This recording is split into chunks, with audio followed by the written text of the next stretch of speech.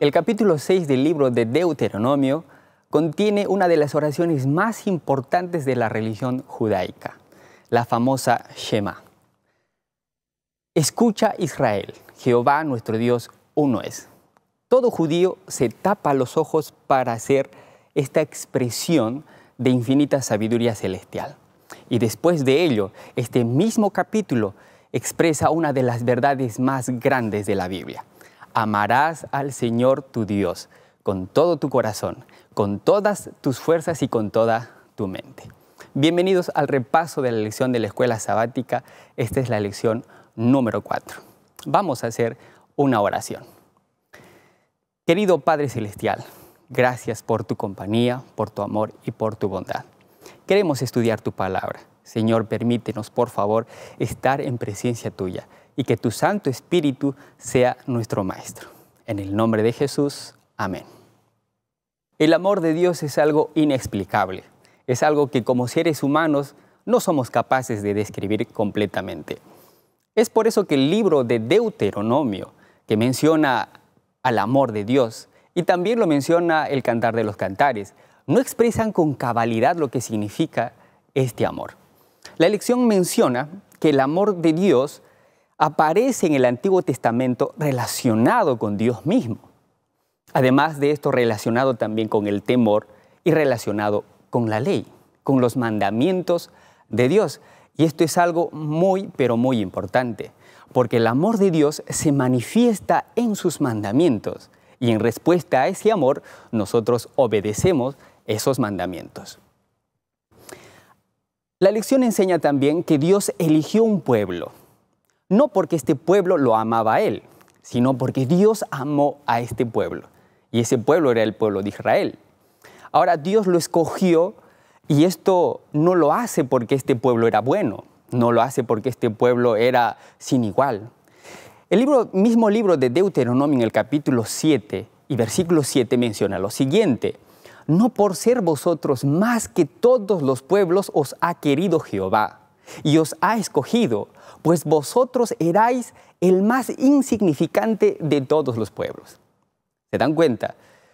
Dios no escogió a este pueblo porque tenía grandes atributos, sino lo escogió porque por él mismo, por su propio amor, porque Dios es así, porque Dios no espera de nosotros que seamos grandes, que seamos eh, estupendos. Dios nos ama porque Él mismo decidió amarnos desde el principio. Y esto es una verdad que realmente nos motiva a amarlo de una manera gigantesca. Además de ello, 1 de Juan 4:19 menciona de que nosotros le amamos a Él porque Él nos amó primero. Es por eso que el amor que nosotros sentimos hacia Dios es una respuesta a las iniciativas de Dios. Dios nos ama y nosotros le respondemos a Él Elena de White, en El deseado de todas las gentes, menciona lo siguiente. El plan de nuestra redención no fue una reflexión ulterior, un plan formulado después de la caída de Adán. Fue una revelación del misterio que por tiempos eternos fue guardado en silencio. Fue una manifestación de los principios que desde las edades eternas habían sido el fundamento del trono de Dios. Dios nos amó desde antes que nosotros hubiéramos existido. Y es por eso que nosotros, en respuesta a ese amor, buscamos obedecer los mandamientos que Él ha prescrito para nosotros. Es otro punto importante también analizar el amor de Dios en un sentido imperativo, porque Dios manda a que lo amemos. Y es un mandato, porque Él dice, y amarás a Jehová tu Dios.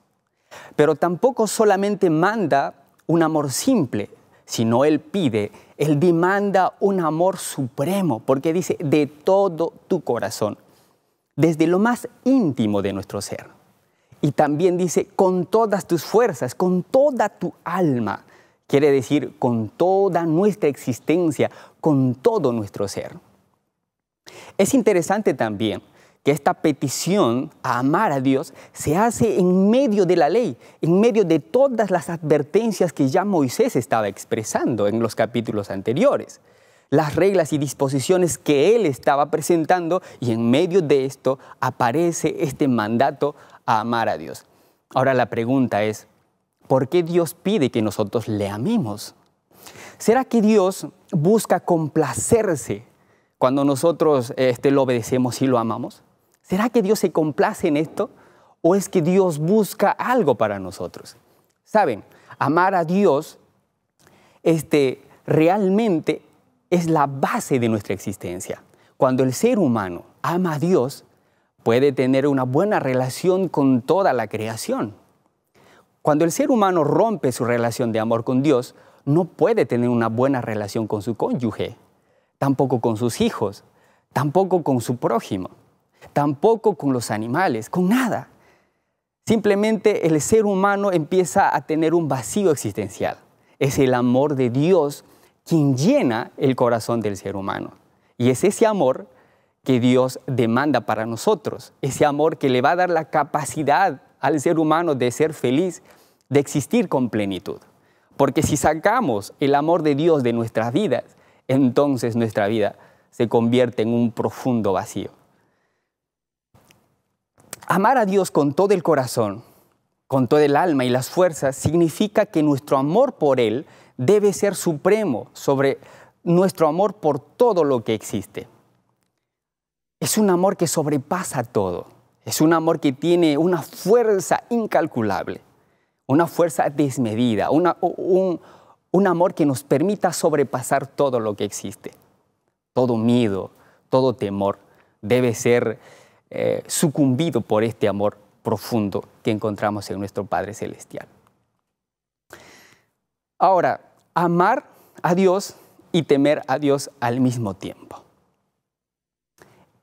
En el amor no hay temor, sino que el perfecto amor echa fuera el temor porque el temor lleva en sí castigo, desde donde el que teme no ha sido perfeccionado en el, amor.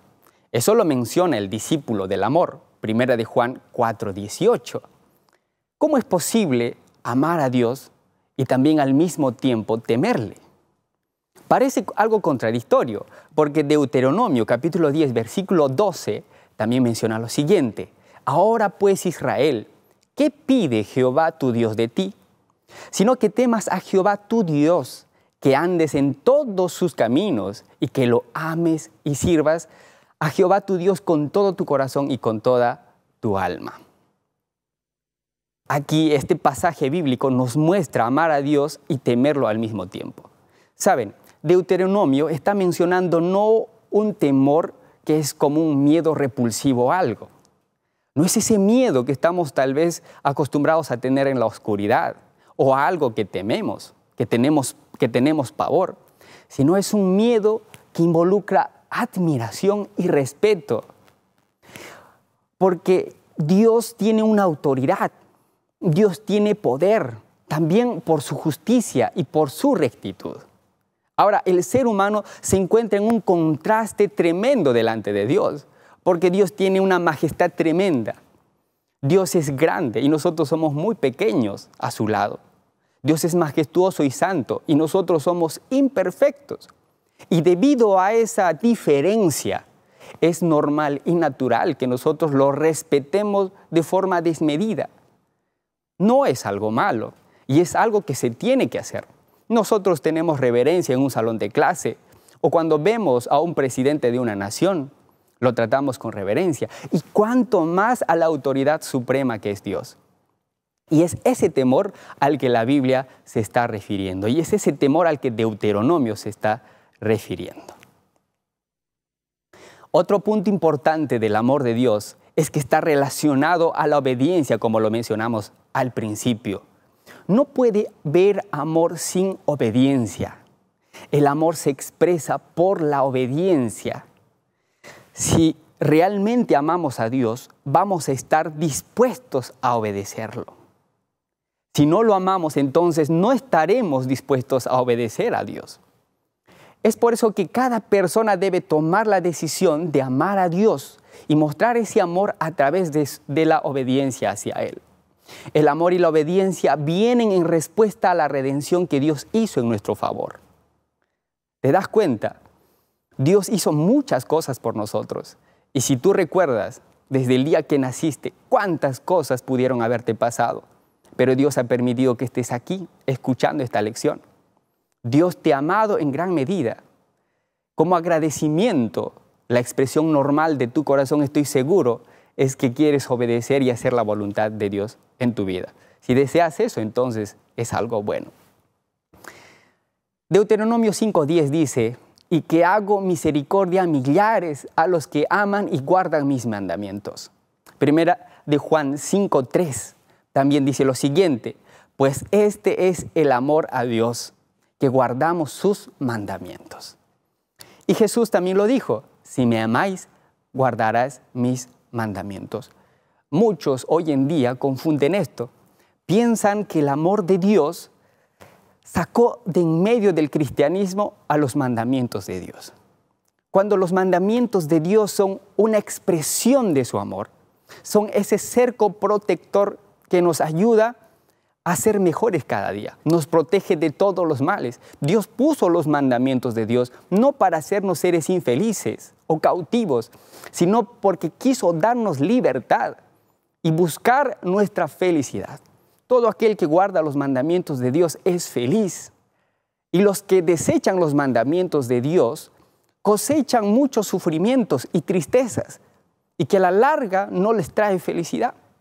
Es por eso que amar a Dios que obedecer a Dios, obedecer los mandamientos de Dios, es la mejor decisión que nosotros podemos hacer, porque Él nos amó primero y cuánto nos ama nuestro Dios.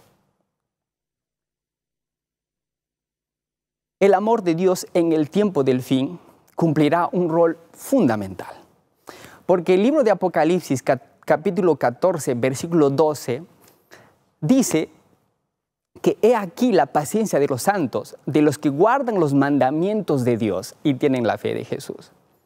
Los tiempos del fin ya se viven desde el día de hoy. Y es ahora cuando tenemos que expresar ese gran amor por Dios. Es hoy cuando los mandamientos de Dios están siendo pisoteados de una forma tan grande. La religión de Cristo está siendo burlada de una forma tremenda. Nadie ya casi el mundo ya no percibe los mandatos de Dios. Es desechado el amor de Dios. Y es ahora cuando nosotros tenemos que expresar el amor de Dios guardando sus mandamientos, porque eso es lo que Dios pide para el tiempo del fin. Y es la decisión más grande que tú puedes tomar. Y es la característica particular del pueblo de Dios. Diciendo a gran voz, temed a Dios y dadle gloria, porque la hora de su juicio ha llegado. Y adorad a aquel que hizo el cielo y la tierra, el mar y las fuentes de las aguas, dice Apocalipsis 14, 7. El ángel dijo, temed a Dios. Es el llamado de respetar a Dios. Muchos hoy en día están adorando o, o tratando de adorar a Dios con sus formas. Pero Dios tiene las formas correctas de adorarlo y están en su palabra. Esos principios están en su palabra. Pero el día de hoy casi nadie respeta a Dios. Tratan a Dios como su igual. Ya no se admira a Dios de la misma forma. Estamos perdiendo el verdadero sentido de la adoración. El amor de Dios debe motivarnos a obedecer a Dios. Recalcamos esto porque realmente es una necesidad grande, no solamente en el pueblo de Dios, sino en el mundo entero. Vamos a concluir leyendo lo que dice Elena de White en los Hechos de los Apóstoles, página 440. Escuchen esta reflexión. Un amor supremo hacia Dios y un amor abnegado hacia nuestros semejantes es el mejor don que nuestro Padre Celestial puede conferirnos. Tal amor no es un impulso, sino un principio divino, un poder permanente. En el corazón que ha sido renovado por la gracia divina, el amor es el principio dominante de acción. Modifica el carácter, gobierna los impulsos, controla las pasiones y ennoblece los efectos. Ese amor, cuando uno lo alberga en el alma, endulza la vida y esparce una influencia ennoblecedora en su derredor. Saben, tener el amor de Dios en tu vida es lo mejor que te puede pasar. y también es una misión que tenemos que cumplir en este mundo que carece amor verdadero.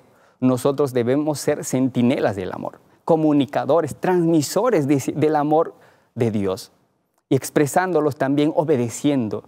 Dios nos pide, no porque Él gana con sus peticiones, sino porque sabe que nosotros necesitamos de los mandamientos de Dios y de los designos de Dios, de su gracia para ser felices.